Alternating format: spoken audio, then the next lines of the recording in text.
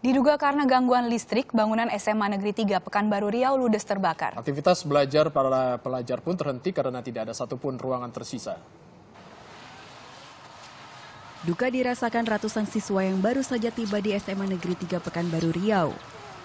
Tak kuat mereka menahan haru melihat bangunan tempat mereka menimba ilmu ludes dilalap si jago merah Rabu subuh. Akibat musibah ini aktivitas belajar mengajar terhenti karena tak satupun ruangan sekolah yang bisa digunakan pas uh, kawan bilang kan di BBM apa uh, sekolah kita kebakar habis total kata gitu kan jadi selung kaget gitu kayak ngilu gitu rasanya apa menggigil rasanya gitu kan cepat-cepat apa uh, siap-siap sekolah kan pengen nengok Hadapi situasi ini, pihak sekolah masih mencari solusi untuk aktivitas belajar. Oh ya, ini anak-anak sebagian sudah datang. Ya, tentu dikumpulkan oleh kepala sekolah, kepala dinas. Nanti akan kita cari solusi.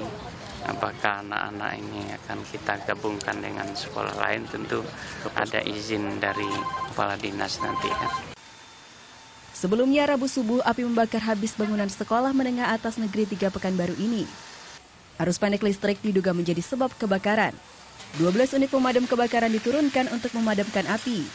Angin kencang dan material bangunan yang mudah terbakar menyebabkan pemadaman berlangsung lama. 6 jam lamanya api baru bisa dipadamkan. Baru sampai kita ke TKP. Sampai di TKP juga kita nggak bisa masuk langsung ke sekolah. Harus di pinggir jalan. Berapa jauh ke dalam kita menarik selang. Tidak ada korban jiwa dalam peristiwa ini. Kerugian diperkirakan mencapai miliaran rupiah. Oki Sulistio melaporkan untuk NET.